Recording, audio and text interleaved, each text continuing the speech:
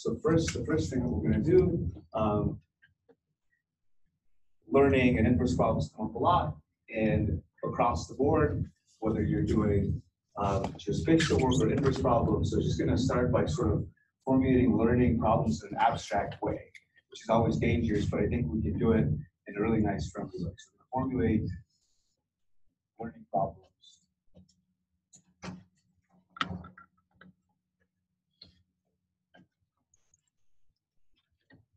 In a general way. Just look at that a little bit, and then once we formulate learning problems in a general way, doesn't really mean anything, so we're just gonna look at really simple ones that you guys are familiar with from that perspective. So second thing we're gonna do, look at simple examples. And the simple examples are going to be just linear regression classification. So this is regression classification. From in, in this from this perspective. So see what what the general thing really means in these cases that you've seen before. Okay, and this will connect to some of the things you're thinking about, hopefully. And then the third thing is, well, what's the point of all this stuff? Of looking at things generally, looking at examples. What, we can really do with this. We're going to throw in a challenge. This is a challenge that we all face, and that's noisy data and outliers. So we're going to think about a specific challenge that comes up no matter what problem you're working on is a kind of challenge. It's going to be outliers in the data. Uh, and so then we're going to show that actually you can take this whole general formulation that covers all the problems we're ever likely to encounter, we can actually make it robust to outliers in a hopefully understandable way. So that's our main goal is to see how that plays out. So hopefully you'll get some feel for how this stuff can be helpful. So this isn't something that we can implement on a complex problem like uh, convolutional neural networks, but it is something that we can implement in a way that you can play with and look at in the classification Okay, so first we're gonna say, so we're gonna do show you robust extension.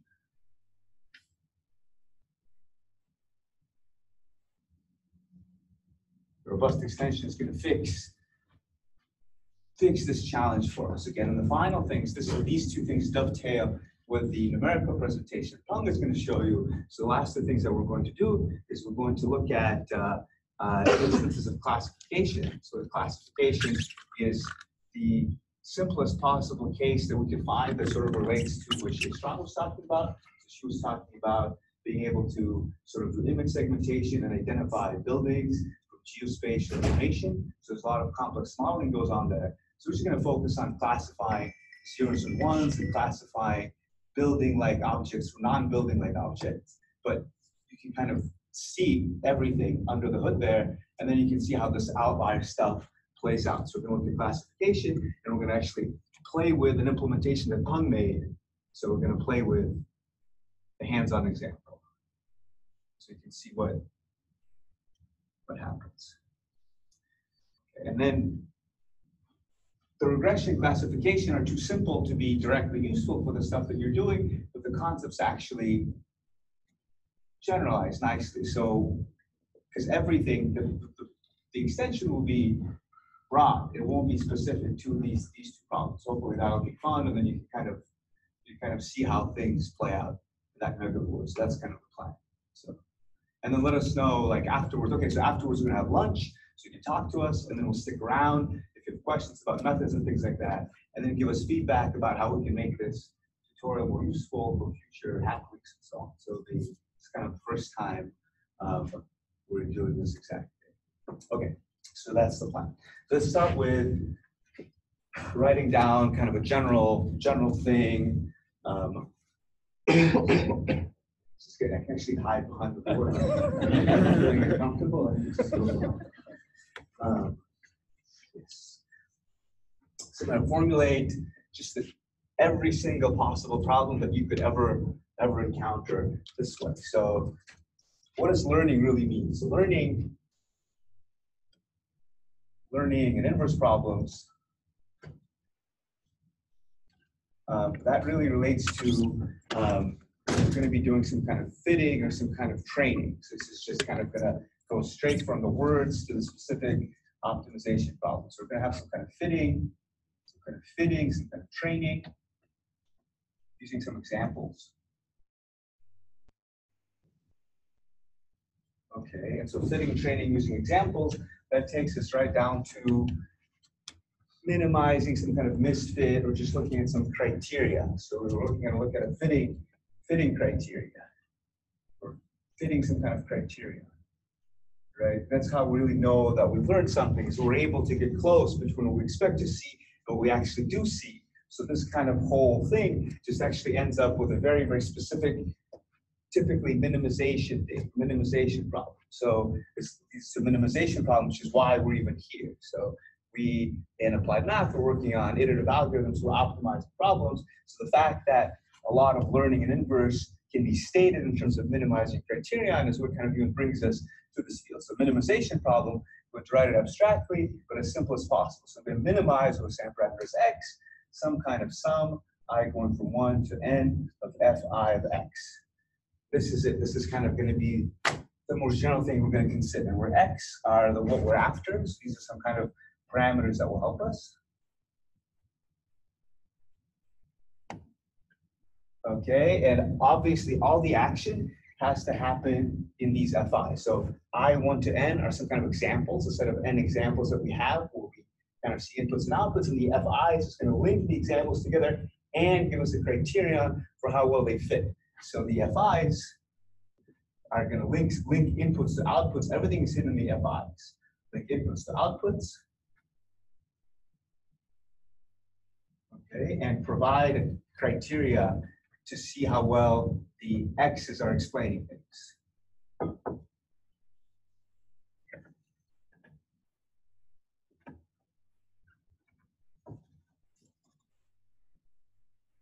Uh, what we are doing.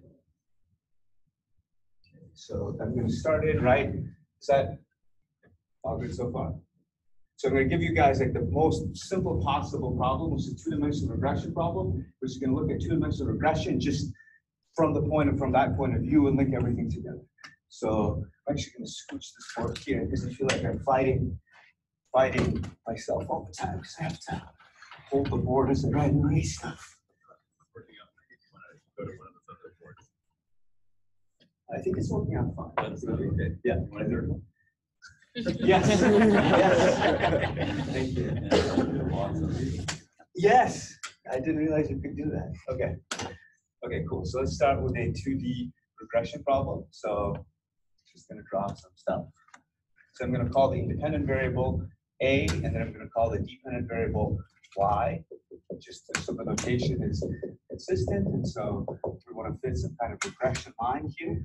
Okay. So in this case, the parameters that we're looking for when fitting a line is the slope of the intercept. So that's pretty straightforward. So the x that we're looking for are the um, intercept, x naught intercept, and x naught slope. Okay, and then we have the some kind of mechanism that connects y's to x's. So this is the inputs to outputs link. Inputs, inputs A to outputs Y. Looks like this. So yi for the ith example is just equal to x0 plus x1 ai. ai is your ith example. So these points are labeled maybe a1, y1 through a n, y, n. A's are scalars, y's are scalars. Everything is clear. That's your deterministic prediction mechanism. So we're almost there. That's the link. And the final thing that the F has to do is it has to give you some kind of criterion of fit.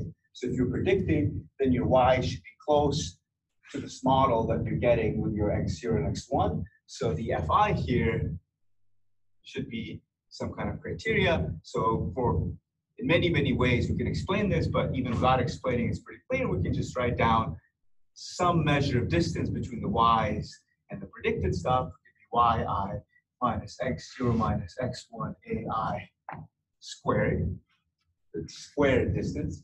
Many other criteria we can use. So put all this stuff together. So now our learning problem in this case is going to be minimized over x. Um, sum i goes from 1 to n, 1 half yi minus x0 minus x1 ai squared summed across all the different points. We want the distances between the predicted things by the line and the actual data to be overall as small as possible.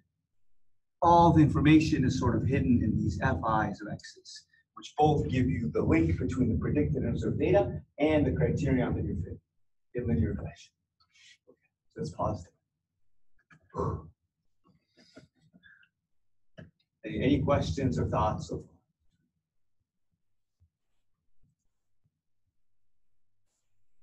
Okay, so the next thing we're going to do is going to look at a second example. So this example, I feel like, is going to be really nice for everyone. The second example is also simple, but slightly, there's a slight twist to it. It's a classification example, and we want that because the classification is the, um, the final thing we're going to be looking at. So classification um, is just going to be it's going to be slightly different, a little bit more fun. So I'm going to draw the same picture.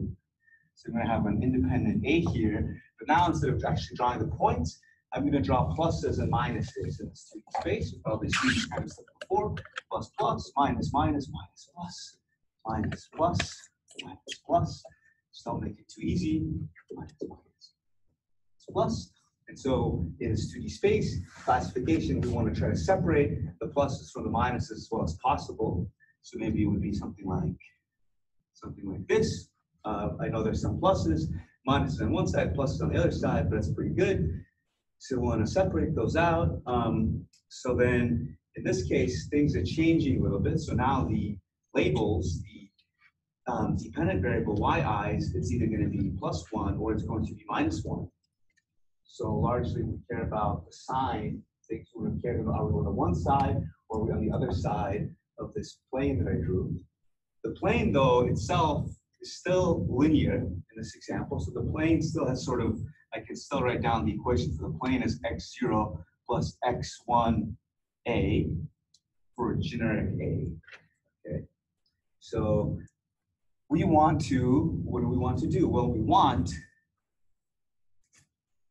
we want first a mechanism by which this thing is going to try to predict the label yi, right? So we want to predict label, which is either one or minus one, from, from plugging in x0 plus x1a. So then the most, you know, the obvious thing is looking at this picture. So if it's small, you might say it's minus one, and then if it's big, it's plus one. Okay, so that's kind of how we're going to predict. And then the criteria that we care about, we don't care about the magnitude so much anymore. What we mostly care about is that the signs agree, that the sign of the predicted thing is matching the sign of the label. And so what we want to do is we want to make the signs the same. So in this case, contrast it to the regression. So our goal is make the signs the same. So the signs of the yi and x naught plus x1 ai. And so when you want to make the signs the same, one really natural thing you want to do is you can look at the product of the two things. So if you just look at yi times x naught plus x1a, uh, and then you can think about the sign. So if this is positive and this is positive, the sign of the product is positive. This is negative, this is negative it's positive, the bad this is good. and then, and then if it's plus minus, product is minus, and if it's minus plus, product is minus, and then this is bad. For some reason, I circled the good here and the minus is there, but overall it's pretty consistent. So it's a good and bad, so we want to make the signs match up. And so how do we make the signs match up? Um, well, uh, just begins.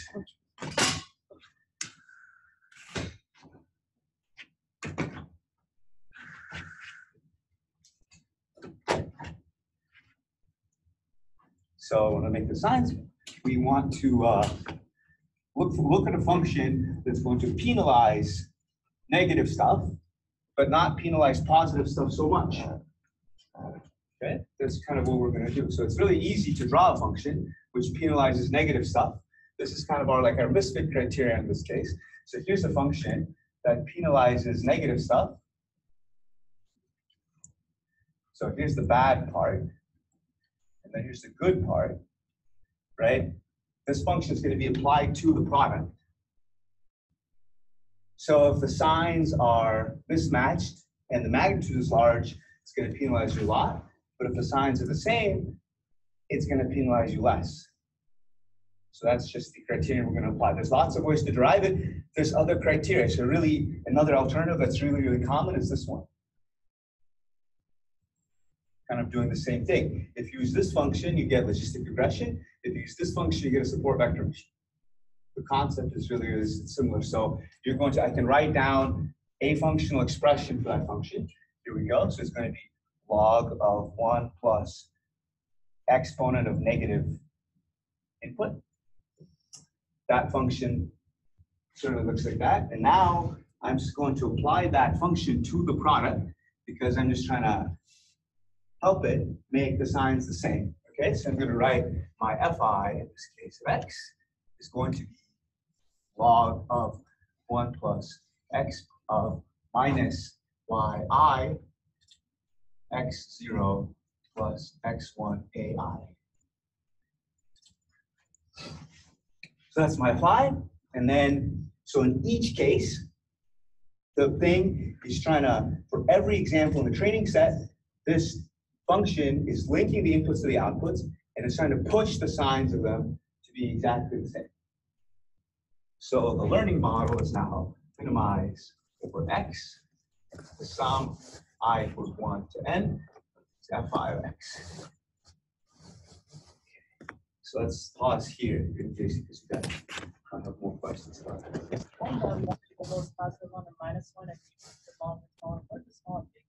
So you just evaluate, so this is going to be a number. So you evaluate x zero. So you're going to, you're given an AI, like your independent variable. You're given that and you plug it in and you multiply it by your x1 and then you add your x zero to it. So that number is either going to be big or small. So maybe it's going to be positive or negative. So I made it big and small, a little bit big on purpose because you may not always necessarily pick positive or negative, but the most, the easiest thing that you could do in nice situations, you can actually, if this is negative, just say it's minus one, and if it's positive, just say it's plus one.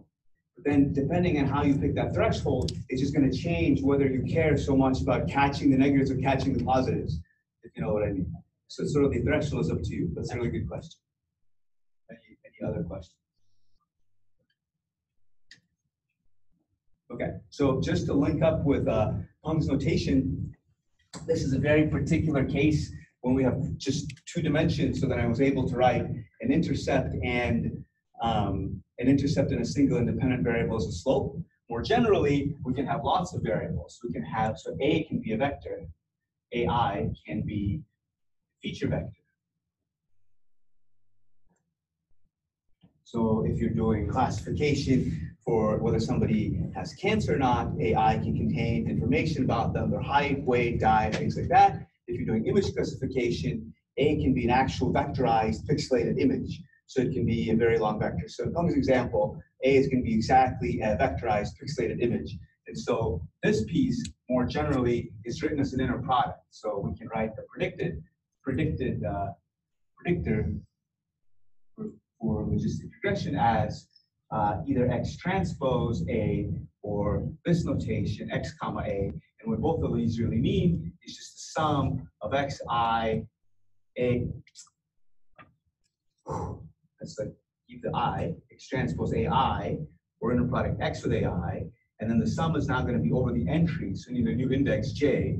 So if you don't care about this, ignore it, but if you care about it, j equals 1 to m, where m is the length, xj, aij. Okay, so it's just the inner product of x with the vector a is going to give you that number that if it's big, think it's one class, and if it's small, it's the other class. So the more most generally, we just take this notation and plug it in here like this, and then we understand roughly what it means, and then it captures all these other types of classes. Okay. So that's one thing I wanted to say. And the other thing I wanted to say before we go on to the robust part I think we're doing okay on time. The other thing I wanted to say is when you get go from this case, logistic regression, to something like neural nets, can still think about it, where's the F's? You can still think about it like this, It's just there's even more happening with that F. So it's going to tell you just a little bit, because everybody's interested in neural nets, just going to draw out a little bit what happens for you when you go from logistic regression to a neural network. So neural network, we're used to seeing some kind of representation like this.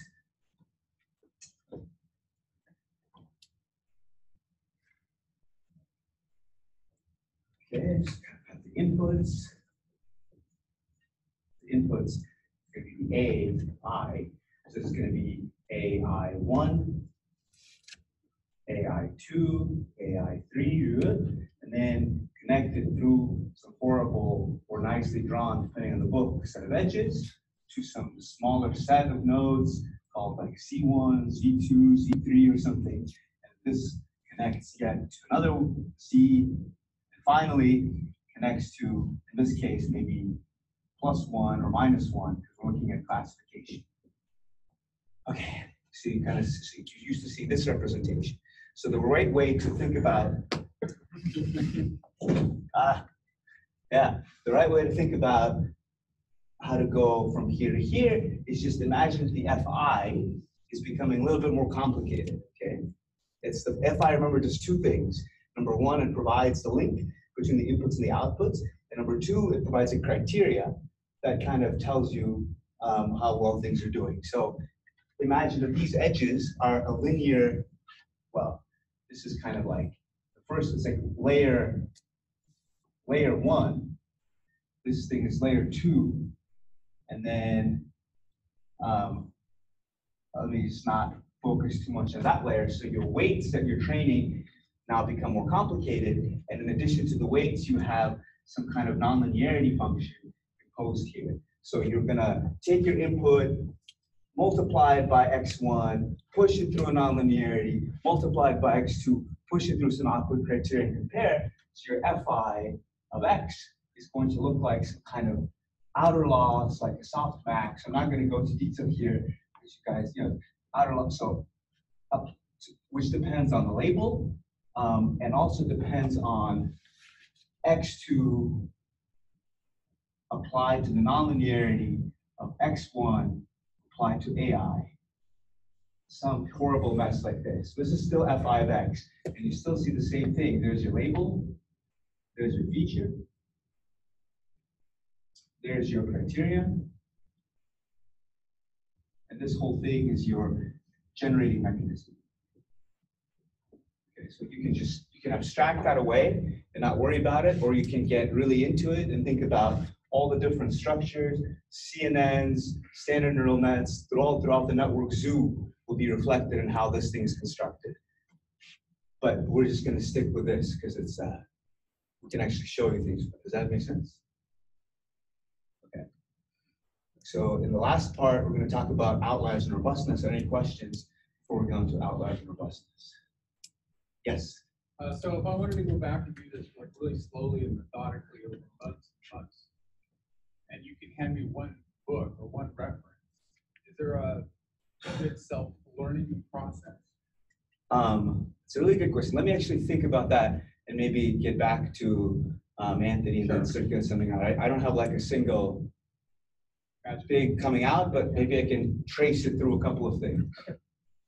Okay, okay, so now the beauty of the abstraction, right?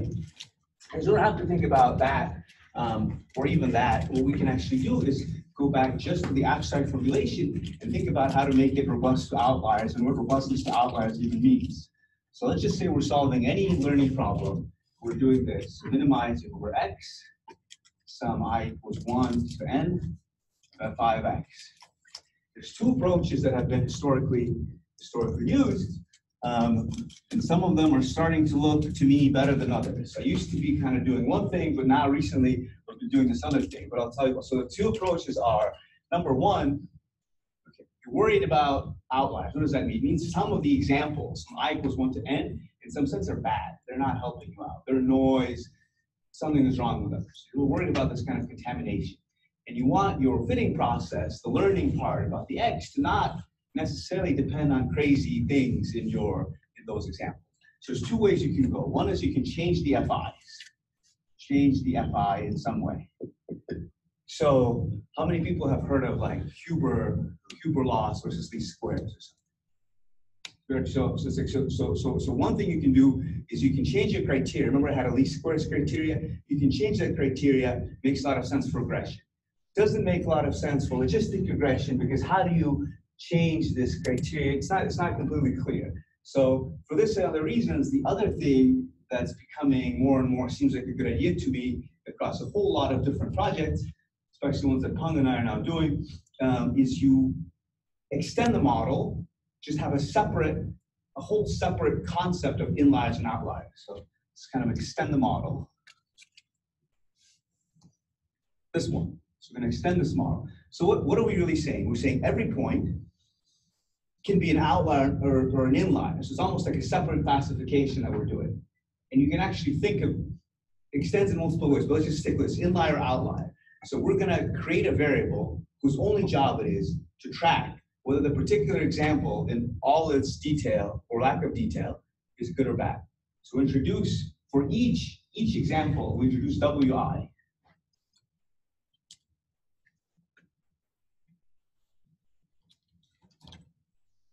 Okay, and the WI is going to track if the thing is an inlier and outlier.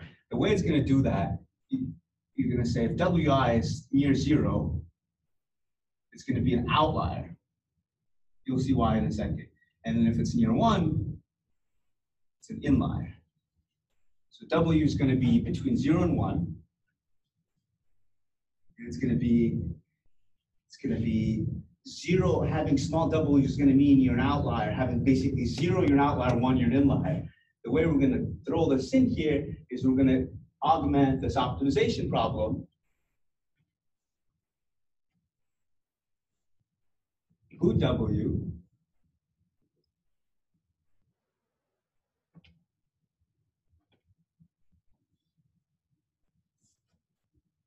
There's something missing here. So let's discuss that. So say I just do this. I just, okay, so kind of explain it too vaguely. To include W, zero as an outlier, one unit inlier, mi minimizing now over both X and W. We're minimizing over X means we're learning some model parameters, but W specifically just trying to minimize this weighted combination. So what's wrong? What's missing here? Why is this not necessarily? Why don't you, does anybody have any concerns? It's going to say something, yeah, yeah, it's, it's something, but, but, but even more specifically, like what, what might happen if you, so W, so you're trying to make this thing as small as possible. Let's just imagine that all the FIs are bigger than equal to zero, just to make it easier to think about. And you're trying to make this as small as possible, okay? Let W equal zero. All the W's want to go to zero. All the W's. You can just think all the W's go to zero. Everybody's an outlier. Did I learn anything? No. okay. So then you just want to impose something. You have to impose some additional information. You have to tell the model what's insist that you at least have some inliers. It's up to you how much. It actually turns out to be okay because you can insist that 90% of your data are inliers. Seems to work great for a whole number of examples. Because even, even if you exclude some good data, the point is the bad data are much more damaging to you than the good data. So you just insist. So we also say that the sum of the WI is equal to H. And what's H? H is our number of inliers. You have to tell the model this. Everybody's always hoping that you don't have to tell the model this. Like the model will tell you also what proportion of your data are inliers and outliers. There's only so much you can ask it to do. Okay? Turns out if you have your own data, you are going to have an idea that you're not going to have more than 20% outliers or 30% or whatever, right? So it's just, okay, so now the thing is complete. So what is this trying to do? The WIs are trying to kill the Fs that are the hardest to fit because they're the largest, set those to zero. And the X's are trying to fit the remaining Fs as well as possible. So as you optimize jointly over the W and the X's, you learn the model, and then the W helps you to classify between the bad and the good. Okay, and so we did that just based on this representation, no specific detail for any applications, and just it, hopefully that makes sense, right? So that's the whole idea. So just some, some history of this, in general, this kind of method is called trimming, but trimming is a loaded work because there's lots of trimming. There's trimming that doesn't make sense and trimming that does make sense. So the most clear pointer in the literature is a method called least trimmed squares.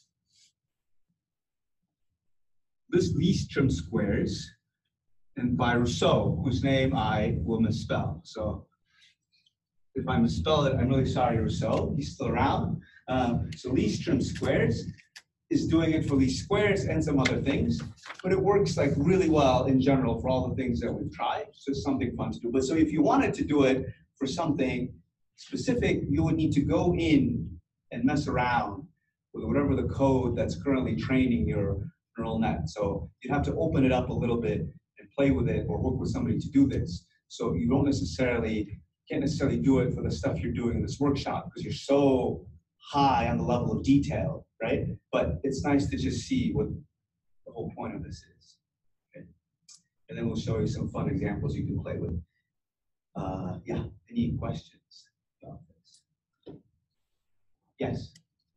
So like in technological research, it's sometimes, you know, you don't want to necessarily get rid of outliers. Is there some worry about that? Yeah, like, Yes. So, so so a fancy way of perhaps getting rid of. it's a great, it's a good question. The question is, in ecological research, you worry about actually getting rid of data because are they really outliers or you're just ignoring something? So there's always a worry. But so the most kind of relevant aspect that we work on is we work on global health problems. We're doing meta-analysis. So there too, you also don't necessarily want to throw away data, but you also don't want your findings to be really subject to weird. So for example, one thing that you're trying to do in global health is you're always trying to gauge how much the studies disagree with each other between study heterogeneity. Okay, so if you have a really bad study, that will control your entire concept of between study heterogeneity because it disagrees with everybody. So maybe you don't want your understanding of that to be influenced. So it's a little bit specific, right? So if you're worried about getting, if you really believe the data, you- you don't have to do this. Or if you believe that almost all the data is good, you can set the H to be very, very high, as high as it's acceptable in your field. If you want to believe all the data, you don't even have to go there. So it's very so there's, there's always a concern. Like you always have to think about like what is this doing for you? Why are you doing this for your case? Are you actually going to get something out of it, or is it just going to get rid of exactly that set of data that you want to include? So, so any any other any other questions? Um, so there's a whole method of like how do you do this? So say you so when you when you solve these problems, you're going to apply some kind of iterative algorithm, right? Because the only time you have a closed form solution for the x's is in the linear regression case. Even for logistic regression, you never have a closed form solution. You have to apply some kind of iterative algorithm. So in terms of methods and things like that, you would have to take whatever algorithm you use to solve that problem and then expand it to also be including solving for this problem. So that's exactly what Peng did. But I, I, I don't think this is, so we're not going into the details of that very much, but if you guys have questions about that or interest, that's the kind of stuff you could talk to us about at lunch or after lunch. Okay. Um, so I think I'm actually under time, uh, which is which is amazing. So ask a couple more questions, and then we can go into the. You have more time to play with the examples that Peng did. Any- any- Anything else? Yes. So when you minimize your function up there, is there a point where you say trying to overfit something, you like to minimize it too much, or how do you decide, you know, this is the point of That's a really good question. So actually, let me jump in here a little bit. So if you just minimizing over data that you have, there's always the risk you're overfitting too much. And so something that you can do, I'm oversimplifying the picture.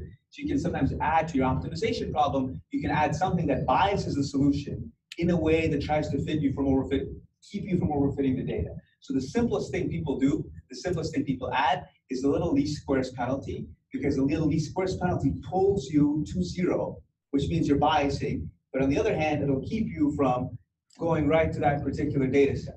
So you can add some kind of term like this. Okay, so you add a penalty, it's called the ridge regression penalty in statistics. You can think of it as a Gaussian prior on your variables x. You can think about all sorts of ways. It's, it's, it's trying to offset this kind of thing. And there's many, many other ways you can try to combat the problem that you're sometimes overfitting. So I didn't go into that to keep it simple, but actually you'll see in Peng's example, this thing is there in the formulation. So when he'll set up the logistic regression problem, he'll throw in a little regularization to keep things keep things nice. It's a good question. And you had a question. I'm just thinking like, how you choose the logistic question like that? Right, you fit between that, yeah, Uh, wh- why did I choose a specific yeah, functional form for this curve? yeah. So this is, so, so there's many, there's different choices. So this one you can derive um, from the Bernoulli model. So you can actually go through step by step and you can say, okay, I'm gonna flip a coin. So first I'm gonna assume that every point has its own probability of being in plus or minus. And then I can take that model through to what the, what the likelihood model looks like for coin flipping. And you can arrive at precisely thing. So this is one way to drive the specific functional form. But you can also have other functional forms like this one that goes straight down and cuts across. So that looks like the max of something. It looks like it has a thresholding function, and you can drive that by looking at some other concepts like the minimum margin. So by looking at different criteria, you can drive different functions. But isn't it funny that they all are doing this, where they're trying to penalize sign mismatch here, and then not penalize sign mismatch there, and they have some, so the, this function, after a certain amount, it just doesn't care what the size of the thing is, it just adds a zero to it. But both of these models, they consider zero to be closely related to the bad case. Because if you're zero, you're not sure, you should be penalized a little bit. You should get to be as sure as possible. So they have really similar interpretations, but just different functional forms. And I'm not married to either of these functional forms, so. Okay, so let's switch over to the more fun stuff. Um, and then Peng can project across all the different screens, then you can also download and play with some of the stuff.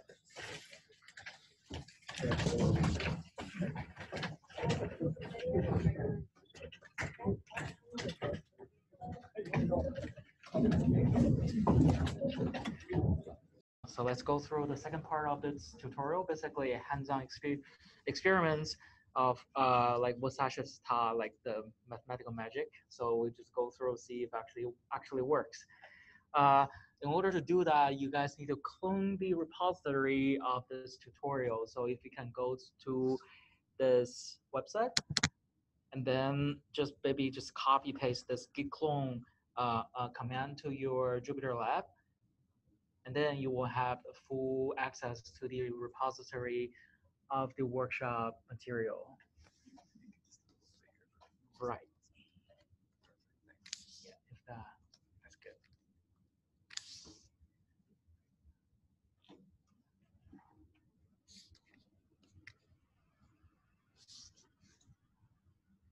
All right, so if you guys do that, there will be a workshop material inside your Jupyter Lab.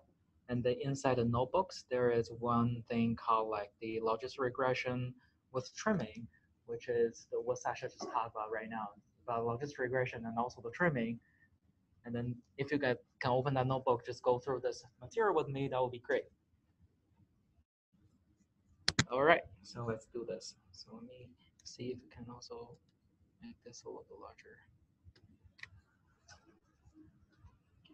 All right, so like uh, uh, in this in this notebook, like uh, we basically have a, a two two examples. The first one is basically the model of all the classification problem, which is the uh, uh, the uh, MNIST, uh, uh, uh, like uh, handwritten digits. So like people actually, uh, if you click on the uh, link here, you can go to this mm, uh, uh, data set. So this the, the, the, this is their effort collecting all the handwritten digit and then try to do classification of this.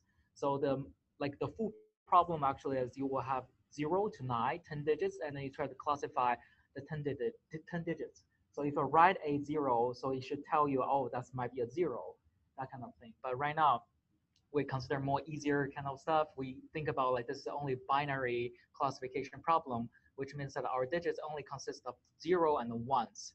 And we are only want to classify if there is a digit of zero and one, we can tell which which which digit is that.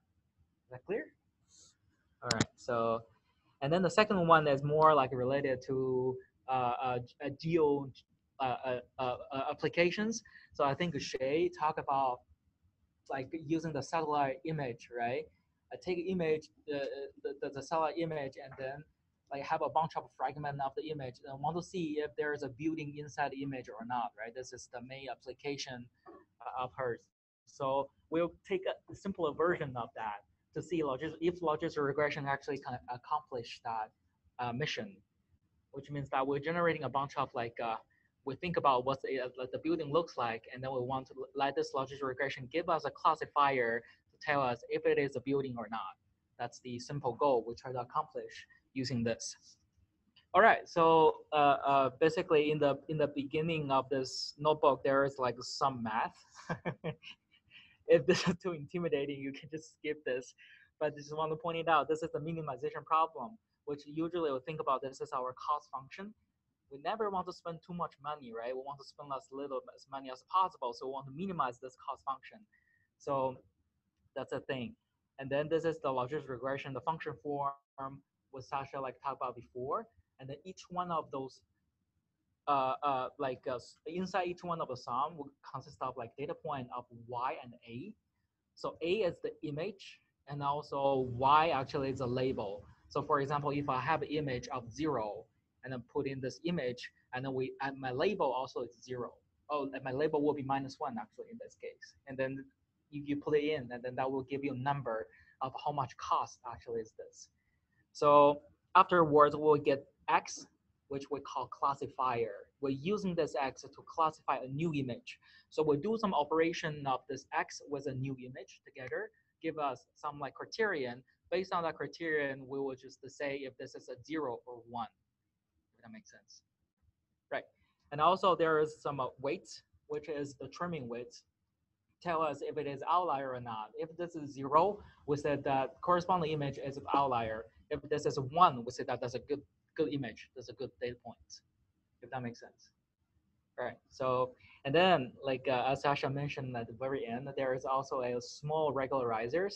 So if you guys familiar with like machine learning, there's always something called like overfitting someone right right so if you want to avoid overfitting you have have this like regularizers in statistical uh, uh, settings this is called priors it's more like a functional like uh, thing you want to enforce some like structure into your like solutions for example you can also put put a one norm there if you guys ever familiar with one norm lasso problem lasso regression no Right, but it's okay. Like this is basically it enforce you some more like structures of your like classifiers. Yeah, something like that. And also, like, could you guys tell me? Also, does it make the optimization problem a little bit nicer? Could you guys tell me what is the minimizer of the exponential function? e to the x. What's the minimizer of that? Is there minimizer means that the argument actually make the function as small as possible, like the smallest. Is there a minimizer of the exponential function? e to the x. Right, Sasha, just draw this thing, right? So, on the board. Sorry if the internet cannot see that. But uh, this e e to the x is when x goes to minus infinity, right? It will actually goes to zero. So there's never gonna be a minimizer because as small as possible until it goes to infinity, the thing. So adding this quadratic like uh, uh, uh, regularizer also like make sure that there will be a solution instead of infinity actually appears. So uh, things will be a little bit more well defined, make thing, uh, make, this actually easier, have easier time to converge also.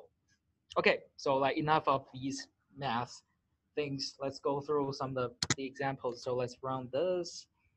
And then the first one is the MNIST uh, problem. So we can actually see uh, if we run through this, there are 1,000 images of like zeros and ones. There are 462 of image of zeros, and then also 538 uh, image of ones.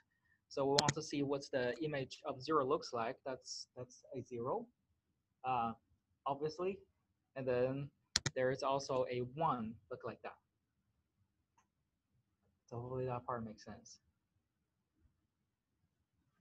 All right. So right now, yes, we want to creating this thing called like binary logistic regression, which is a class of uh, including the solver is in the solver module. So all the all the uh, all the code actually is original. You can you guys can go to the source folder uh, of this uh, uh, uh, like GitHub repository to to look through what the source code looks like if you guys are interested. And also you can like using some new if you have some new pictures, new images, you can use also use this to see if the logistic regression can give you some sensible result afterwards. Great. But yeah, let's uh, fit this Ooh, it take uh, about, like 10 iterations to, to fit the data. And then this is like actually something that we care about because we are optimization uh, uh, people. We're people. And then we actually fitting this. Uh, this is called objective function, which is a cost function, which means how much money you spend actually to doing things. We want to minimize this. We want to minimize the expense as much as possible. So we can see that this actually decreasing, which is really satisfying feeling of like re- seeing your expenses decreasing. And then there are like stop criteria, which is called this arrow. So at the end, we want this arrow actually to less than a tolerance. Right now, it's set default to be 10 to the minus 6. When it's actually less than that, we just exit. We say that uh, our algorithm actually converge. So for this thing, actually re re return two uh, result. The first one is a classifier. The second one is the outlier. So the classifier is used for when you have new images, you're gonna use this classifier to say if, if that image is a zero or one. So that's the thing. And then the outlier is basically say what's the thing, what's the weird images actually you think actually is an outlier, you just output that. So like some people also have concern, right? You don't want to throw away the data, right? So this one actually you can using this outlier to do a secondary analysis if you have the resources. You don't necessarily want to throw away this these outliers. Maybe there are certain parts in, this outliers you can actually capture in afterwards. Right. So yeah, all right, let's uh, let's see. So before we actually have some uh, training data and also some testing data. So testing data also have some testing images. So the way we do using the outlier uh, classifier is actually called this um, classify images and putting the images in the testing data. If that makes sense. And then it will return a lot of like prediction labels. Will tell you what is zero or one. So uh, there are many testing images. So and also like the this modified class labels can let you to output like different weird stuff. For example, you'll say the first class is blob, the second class can be blob. I don't know what I'm doing, but uh, it will uh, output uh, these kind of stuff. But let's return to zero and one because it makes more sense.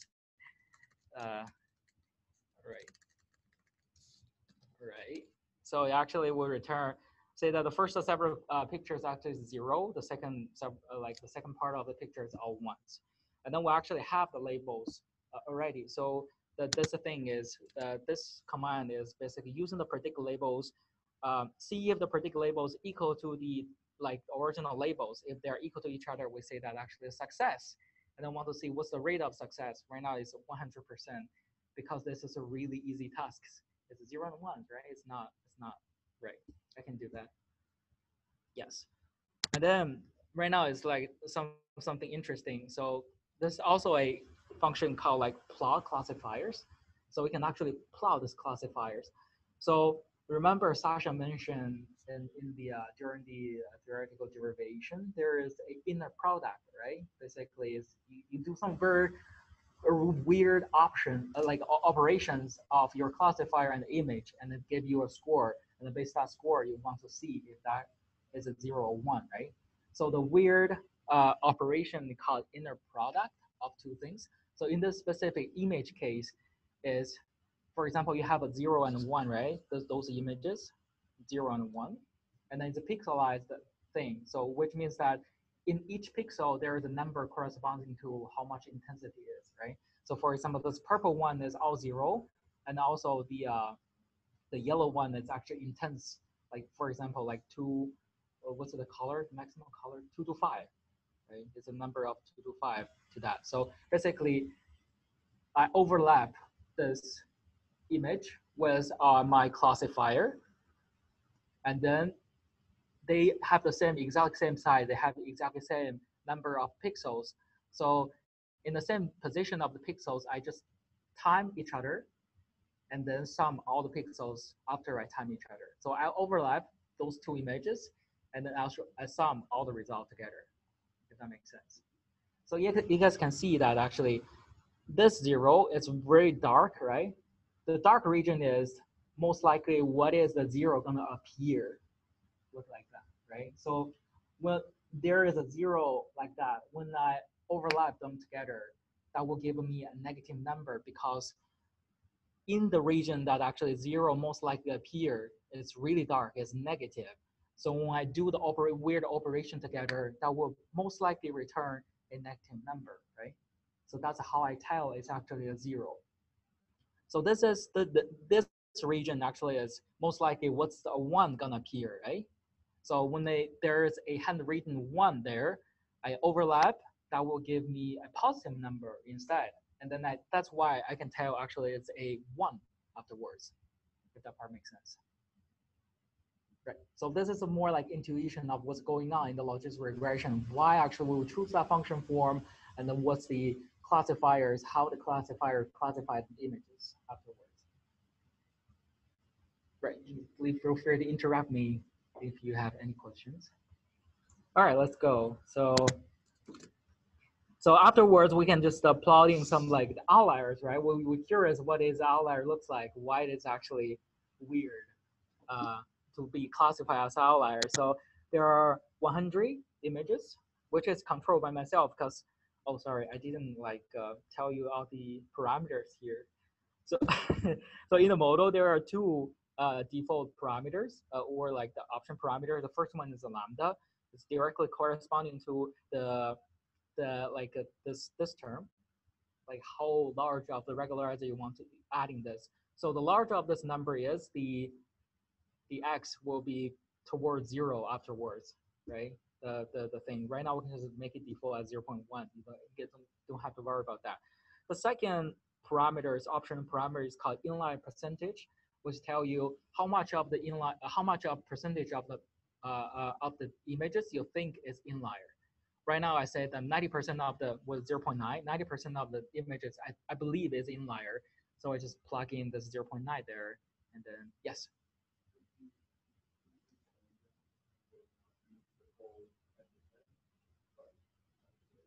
Yes, the question is, do do I just not use the 10% of the data? So it's it's that a question?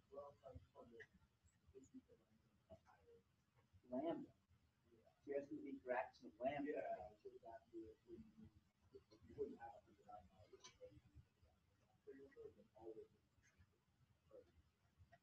So the functionality of this lambda and also you know is orthogonal. The lambda is more like saying that I want to avoid the whole thing. I want to actually have more regularized solution. So that's why I add lambda. So if my lambda is too large, the information of the regularizer will override any data you have. In that case, you will get a zero x. Have a rewrite lambda. But this inlier percentage is more like saying that I only care about a certain amount of the data I'm using, but I don't know which part of the data actually is that. I only know that the amount of the data that. So throughout the uh, data process, we will figure out which part of it is good and which part of it is automatically. So percentage is the same you, like, say how much percentage of the data is good. Does that make sense? Yes. Um, right. So those those are the two parts. That's why we have like 100 outlier or uh, what, how many outlier do we have? Like yeah, 100 because like it's 10% of of like 1,000, right? It's actually exactly 100, and then there are 50 of those is zero, 50 of those is one. So if we see, for example, this one, yeah, it's obviously it's bad handwriting. It's hard to uh, classify, so that's why it's a weird, uh, like, uh, uh, right? It's a weird uh, uh, images. That's why it's outlier. If it makes sense. Does this part make sense? All right, great. So, um, any questions? All right, let's go through the building detec- detection afterward. This is like exactly same concept, but just using a new set of uh, images, or like we're actually simulating these images to make this like more uh, uh, attached to the uh, Geo Hack Week, this topic. So it will be fun. So we have three kind of like uh, type of images right now. We, we call it building and then crosses and also outliers. So uh, there's a simulate uh, a Python module also. You have a function called simulate images. And then the first argument is the size of the images. Right now is like, I say this, the images has to be 28 by 28. because it's logistic regression and it's also my laptop, it cannot run too large of the image, also, also it will break. And then the second argument, like uh, one, like the second argument is the number of buildings you want to have, the number of crosses you want to have, and the number of outliers you want to have. There are three numbers there. So for example, if I want to show you guys what's the building looks like, I was just directly simulating one buildings there, and then zero crosses and then zero outliers, and then etc. So if I do this and then plotting the buildings, this is a building. So if you think about like this is a satellite image, right? You just uh, see all the things from above. A square is most likely to be a building, right? Something like that. Okay, and then we can also have some crosses. So I don't know why I choose this, but it clearly not a building, right? Maybe there is more than design, but let's just say there that's not a building, right? That's some weird road or something like the cross section of the road. All right. So and then also there are outliers. So this is really confusing because it consists of a of a rectangular and also a cross. So it can really be really bad for logistic regression because it can it have both of the parts, and then it it can like really confuse of like logistic regression don't know what's going on. They have you have like both both a building and also a cross, right? It can it can be really bad. So we call it outlier. So hopefully the, the trimming can automatically pick out all those things automatically and then think about maybe you can do a secondary classification of these outliers because you can see that both of them is like a window, right? Maybe something else can come out from the outliers, right? All right, so let's do this. So we generate the training data. So we have, in this training data, we have 100 of the buildings, 100 of the crosses, and 20 of the outliers. Right, so 20 divided by 200 is 10%.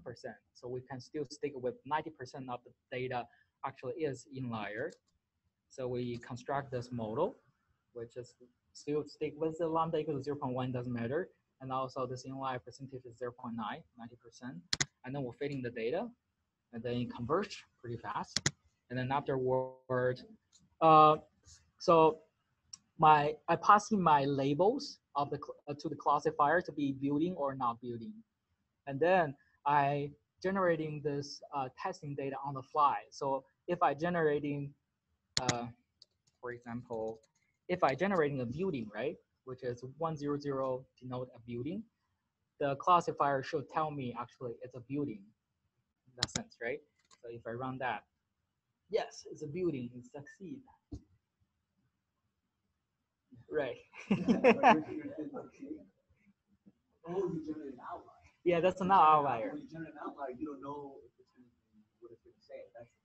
Yes, we will go through that later. Yeah. So so like let's just run a couple of more times. This is also building. This is also building. This is also building, right? Great. Yes. See if we can like recognize if it is like our like if it is a cross, right? Which is not a building right now. So it's not a building. It's not a building, and it's not a building. I can do this all day, every day. but it's not a beauty, right? So actually doing a good job. That's nice. So right now, like let's try to confuse this logistic regression, which I actually uh, originally like leave the parameters of this in. Let's just give them the outlier to see if it can recognize if it is a building or not, right? So it says that it, this is a building. This is a building. Sometimes it is not a building. So it's really confusing for the logistic regression, right? To, to actually to see whether this is actually a building or not. So I didn't do that, but let's uh, let me do this uh, uh, classifiers of plot classifier. Or let, um, let me also plot this class, classifier. So like based on our zero and one intuition, right? The, if, if the zero is most likely appear like that, I just put a bunch of negative number in my uh, like in my classifiers around most likely where zero is gonna appear. And then when zero appear, when I do the weird operation overlap the images, that will give me a negative number, right? So in this one, it's a similar, uh, like exactly same intuition. Because the uh, the the buildings most likely be a rectangular around this this places. So I just put some like uh, negative numbers or like in, in the in the corners right now because of the cross also can appear in that place, right? But in the corners, the cross gonna not appear that. So I put some negative numbers there. When I overlap, the buildings will just give me a negative number, and then that's corresponding to building. And then I put a po- like positive numbers, especially in the between here, because buildings is always hollow, like in my example. So there's ne- never gonna be building there, but the cross definitely gonna touch this middle area, right? So in this meter area, if I have a cross there, I overlap the images, that will likely to give me a positive number. That's why I know actually it's a not a building, it's a cross, right? So that's where the intuition comes from, right? So okay, let's see if we, what's our outliers, right? Let's plot our outliers. So there are 22 of the outliers. Not exactly 20 because it's there like uh, a floating number, blah blah blah. Uh, but the most likely this outlier actually is the, uh, the the this weird thing, right? For example, zero. Oops, because there are 22. And then this is the first two, and then the rest of those will just uh, be the uh, weird stuff. So we pick up all the like weird windows out as an outlier, so that you can do a secondary kind of analysis on, on those outliers, which is pretty fun. All right. So if you guys have uh, like more images, kind of data, you can actually directly put into this module. This is actually pretty general. You can uh, generating a class. Let me see. if I show you guys? Sorry, this is more like into the into the weed of the uh, uh, stuff. So there are a bunch of like uh, I can open these. Right, this is utils uh, uh, uh, uh, Python module. So there is uh, image data. So if you guys have a bunch of images, you can just uh, like say, make a NumPy array, 2D NumPy array. So each row of those is a vectorized image, and then how many row of those there is, there will be how many images there will be. And also there's labels. You can pass in also labels there, and then creating this image data class.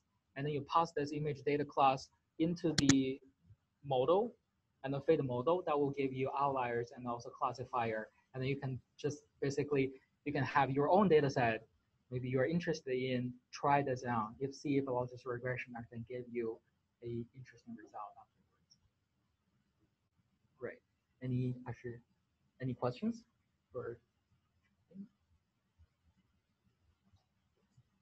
Like, also play with the current thing and just see like, as you control it, what happens, right? Like you can say, you have more outliers and you actually generate fewer outliers than you generate. You can kind of see, see what, what the effect is. and, uh, Ask us questions about. Right.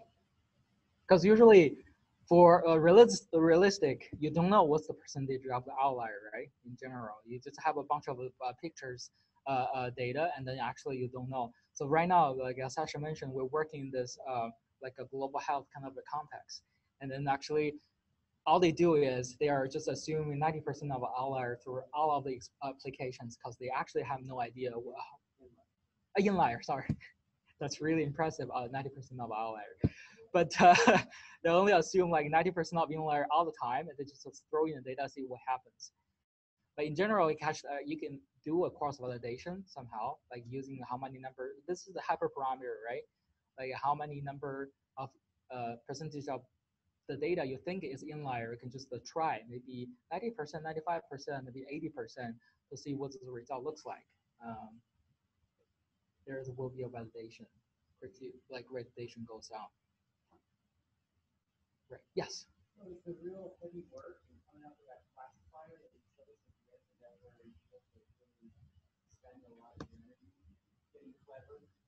on- So not just in this example, but Mhm. other examples, that would really spend a lot of your energy. Yes, so the whole thing, the whole computational resources is spending on this thing called like the model, the fit model. But for you to, you had to, you all the way down to the bottom of your notebook, Yes, sure that that thing right there, you had to guide that?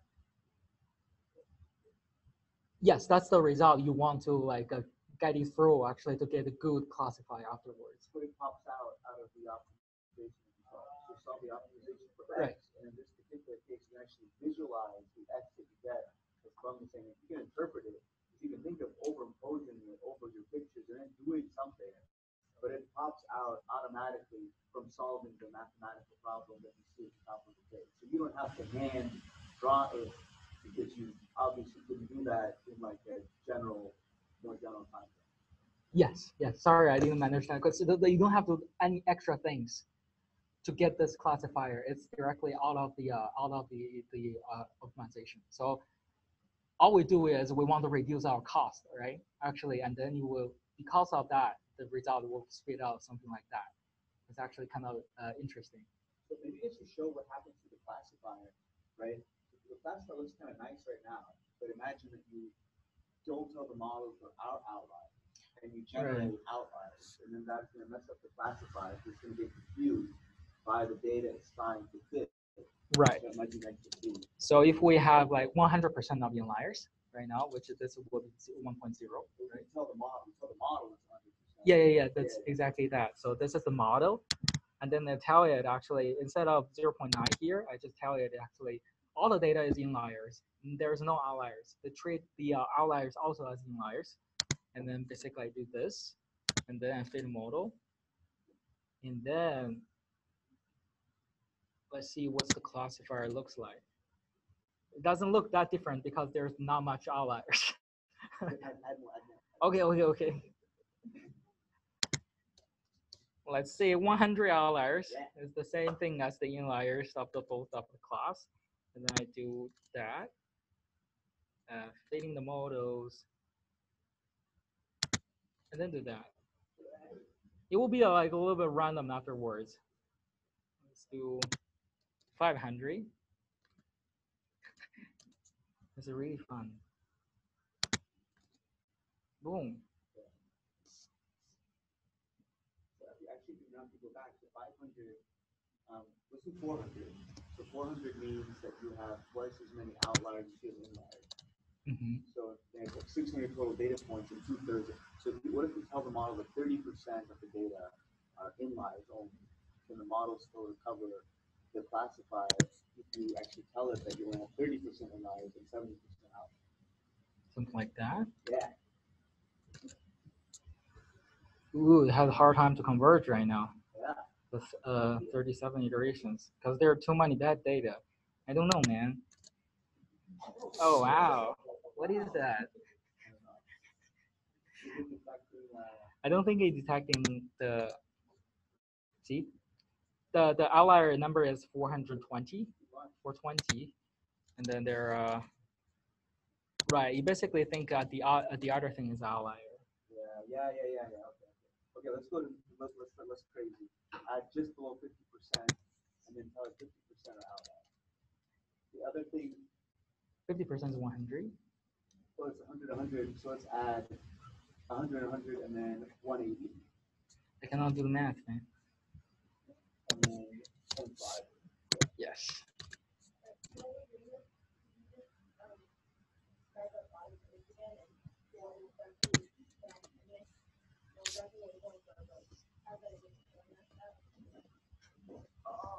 Yes, So the uh, the, the the the the the classifier, the zero and the one. yeah,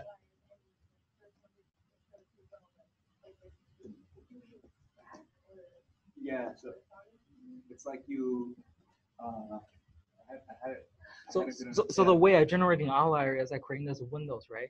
And I randomly assign if it is uh like a building or a cross. Right. So so I think the way is the majority of the data actually is in a window afterwards. If I adding too much, and then they will just based on this window, he think he really think the window actually is the road or the window actually is the uh, is the cross. So, so so that's why he actually this one is basically brighten on the outside, also brighten in the inside, right? So that's exactly a window. So that one, he says that the window has to be positive because their majority of the uh, window image is the cross. No, window is the Building plus cross. building plus cross. Right, right. Sorry, call it window. It's outliers. right. So I think the majority of the uh, uh, of the uh, of the windows is actually labeled as cross, So you actually think the, the, the, the cross should be look like a window. So that's why the image is here. It's basically pretty bright, right? Yes. Yes. Right, sorry. Right. Yes.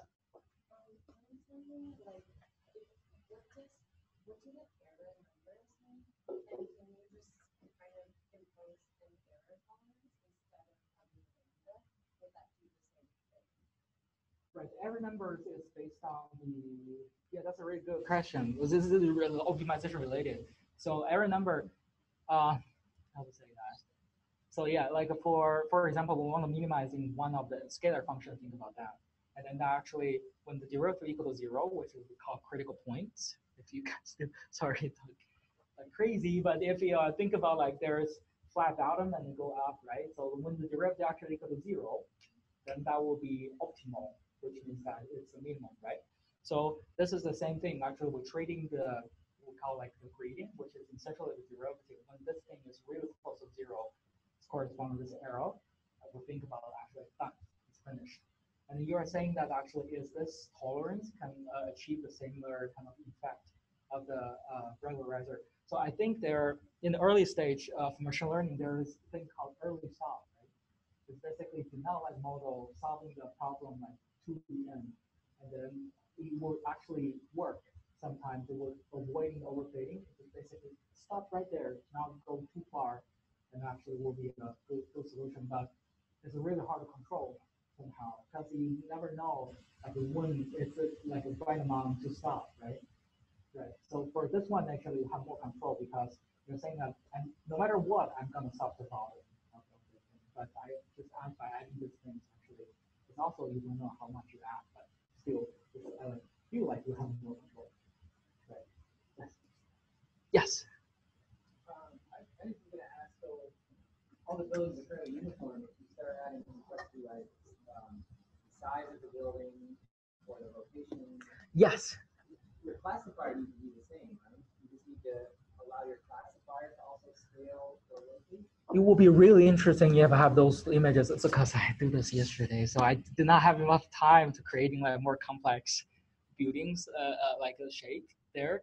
But you can definitely go for if you have a more like you, you, if you have real uh, like uh, um, kind of uh, for example like uh, the images actually corresponding to, to the thing you put into here, you will actually could, could see actually if it can do a good job.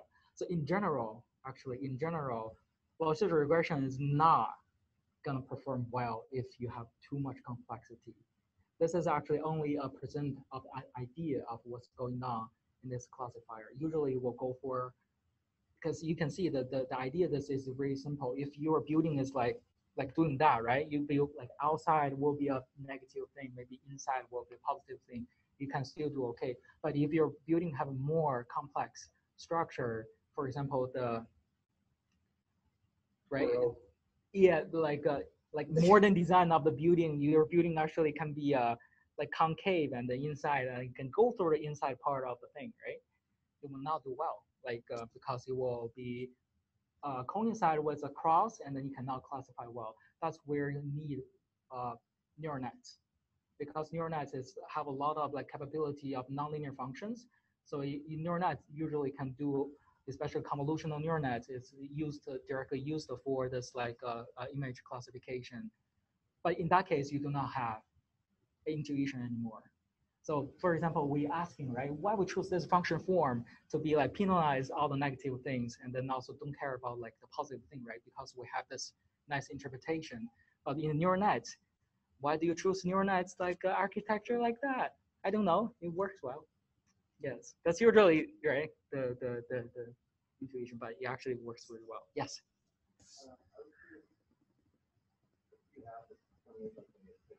Yes.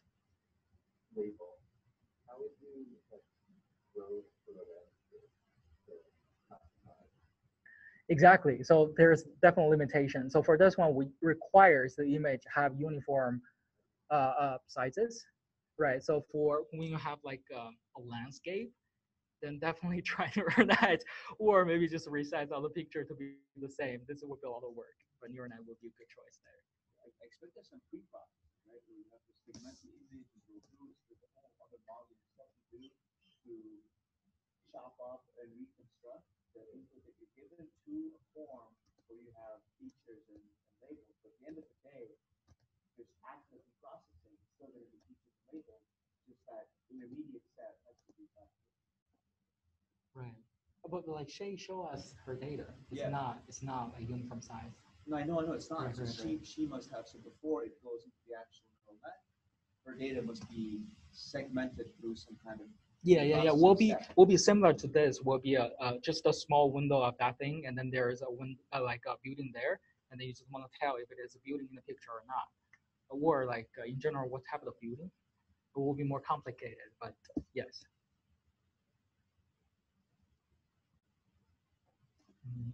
Because it's like small toy, so you guys really can just put into different picture to see actually if it can do things. It will be cool. Yes.